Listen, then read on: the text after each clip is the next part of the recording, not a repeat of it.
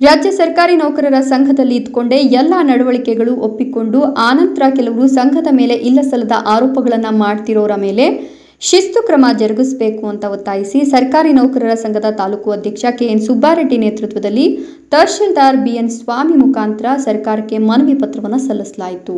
ಈ ವೇಳೆ ತಾಲೂಕು ಸರ್ಕಾರಿ ನೌಕರರ ಸಂಘದ ಅಧ್ಯಕ್ಷರಾದ ಕೆಎನ್ ಸುಬ್ಬಾರೆಡ್ಡಿ ಮಾತನಾಡಿ ನೂರ ಮೂರು ವರ್ಷಗಳ ಇತಿಹಾಸ ಇರುವ ಕರ್ನಾಟಕ ರಾಜ್ಯ ಸರ್ಕಾರಿ ನೌಕರರ ಸಂಘದ ಬಗ್ಗೆ ವಾಣಿಜ್ಯ ಮತ್ತು ಕೈಗಾರಿಕೆ ಇಲಾಖೆಯ ಸಚಿವಾಲಯ ಅಧೀನ ಕಾರ್ಯದರ್ಶಿ ಶಾಂತಾರಾಮ, ಸಚಿವಾಲಯದ ಶಾಖಾಧಿಕಾರಿ ಗುರುಸ್ವಾಮಿ, ಜಾನುವಾರು ಅಭಿವೃದ್ಧಿ ಅಧಿಕಾರಿ ಪಶು ಆಸ್ಪತ್ರೆ ರಾಯಚೂರು, ಮೆಹಬೂಬ್ ಬಾಷಾ ಎಂ ಹಾಗೂ ಭೂಮಾಪನ ಇಲಾಖೆಯ ಸೂಪರ್ವೈಸರ್ ಶಿವರುದ್ರಯ್ಯ, ಉಪನ್ಯಾಸಕರಾದ ನಿಂಗೇಗೌಡರು, ರಾಜ್ಯ ಸರ್ಕಾರಿ ನೌಕರರ ಸಂಘದ ಬಗ್ಗೆ ಇವರು ಸುಳ್ಳು ಆರೋಪಗಳನ್ನು ಮಾಡ್ತಿದ್ದು, ಸರ್ಕಾರ ಸತ್ಯಾಸತ್ಯತೆಯನ್ನು ಪರಿಶೀಲಿಸಿ ಇಲ್ಲಸಲ್ಲದ ಆರೋಪಗಳನ್ನು ಮಾಡ್ತಿರೋರ ಮೇಲೆ ಶಿಸ್ತು ಕ್ರಮ ಜರುಗಿಸಬೇಕು ಅಂತ ಒತ್ತಾಯಿಸಿದ್ರು.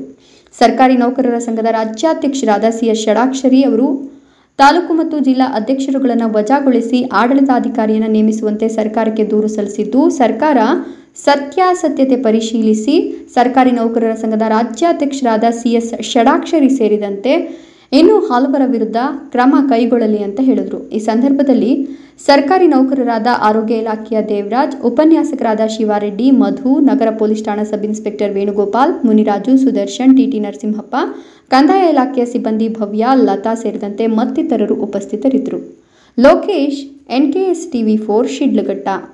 ನೌಕರ ಸಂಘದಲ್ಲೇ ಇದ್ದಾರೆ. ಅವ್ರೇನ್ ಪದಾಧಿಕಾರಿಗಳಾಗಿದ್ದಾರೆ ಅಥವಾ ಸದಸ್ಯರಾಗಿದ್ದಾರೆ? ಏನು ಸರ್ ಅವ್ರ ಹೆಸರು ಏನೀಗ ನಮ್ಮಲ್ಲಿ ರಾಜ್ಯ ಸರ್ಕಾರಿ ನೌಕರರು ಪದ ದೂರು ಕೊಟ್ಟಿದ್ದಾರೆ. ಒಬ್ಬರು ಶಾಂತಾರಾಮ್ ಅಂತೇಳಿ ಸಚಿವಾಲಯದಲ್ಲಿ ಕಾರ್ಯನಿರ್ವಹಿಸುತ್ತಿದ್ದಾರೆ. ಅವರು ಎನ್ ಪಿ ಎಸ್ ರಾಜ್ಯ ಸಂಘದ ಅಧ್ಯಕ್ಷರು ಮತ್ತು ನಮ್ಮ ಸಂಘದ ರಾಜ್ಯ ಪರಿಷತ್ ಸದಸ್ಯರಾಗಿದ್ದಾರೆ. ತದನಂತರ ಗುರ್ರ ಗುರು- ಗುರ್ರ ಗುರುಸ್ವಾಮಿ ಎನ್ಬಿಟ್ಟು ಸಚಿವಾಲಯ ಸಂಘದ ಅಧ್ಯಕ್ಷರು, ಅವರು ನಮ್ಮ ಸಂಘದ ಪದಾಧಿಕಾರಿಗಳಾಗಿದ್ದಾರೆ. ಮಹಬೂಬ್ ಪಾಷಾ ಅಂತೇಳಿ ರಾಯಚೂರು ಉಚ್ಚಾಟಿತ ಜಿಲ್ಲಾ ಸಂಘದ ಅಧ್ಯಕ್ಷರಾಗಿದ್ದಾರೆ. ಅವರು ನಮ್ಮ ಸಂಘದಲ್ಲಿ ಪದ ಪದಾಧಿಕಾರಿ ಕಾರ್ಯಕಾರಿ ಸಮಿತಿ ಸದಸ್ಯರಾಗಿರುತ್ತಾರೆ. ತದನಂತರ ಲಿಂಗೇಗೌಡ ಅಂದ್ಬಿಟ್ಟು ಪ್ರಾ- ಪ್ರಾ- ಪ್ರಾಂಶುಪಾಲರ ಸಂಘದ ಅಧ್ಯಕ್ಷರಾಗಿರ್ತಾರೆ ಅವರು ನಮ್ಮ ಪದಾಧಿಕಾರಿಗಳಾಗಿರ್ತಾರೆ ಇನ್ನೊಬ್ಬರು ಮತ್ತೆ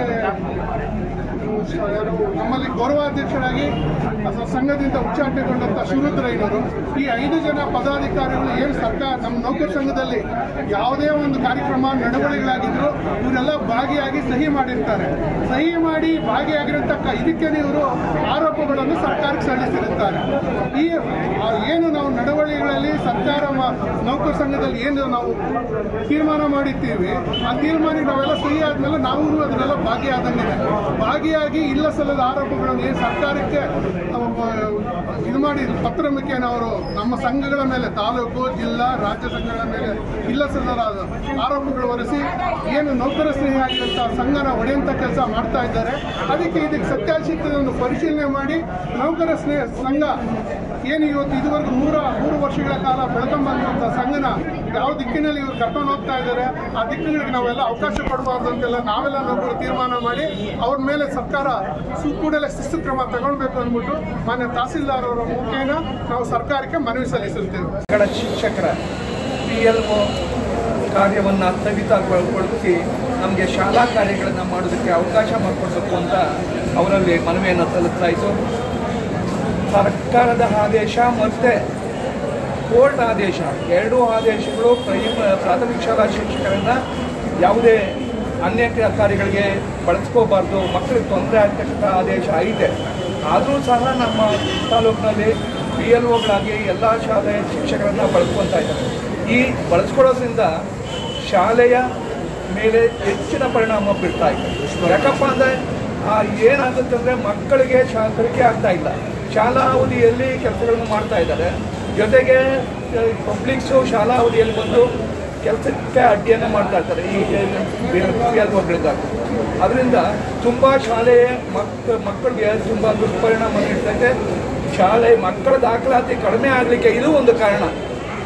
ಈಗಾಗಲೇ ನಮ್ಮ ನಮ್ಮ ಸರ್ಕಾರಿ ಶಾಲೆಗಳು ಅವನತಿ ಅವನತಿ ಹಂಚಿನಲ್ಲಿ ಐತೆ ಅಂಥ ಟೈಮಲ್ಲಿ ಶಾಲೆಗಳ ಉಳಿಸೋದಕ್ಕಾಗಿ ಮಕ್ಕಳ ಒಂದು ಶೈಕ್ಷಣಿಕ ಅಭಿವೃದ್ಧಿಗಾಗಿ ಶಾಲಾ, ಪ್ರಾಥಮಿಕ ಶಾಲಾ ಶಿಕ್ಷಕರನ್ನು ಪಿ ಎಲ್ ಒಗಾಗಿ ಬಳಸ್ಕೊಳ್ಳದೆ ಇರಲಿ ಅಂತ ಮಾನ್ಯ ತಹಸೀಲ್ದಾರ್ ಸಾಹೇಬರನ್ನು ನಾನು ಕೇಳ್ಕೊಳ್ತೀನಿ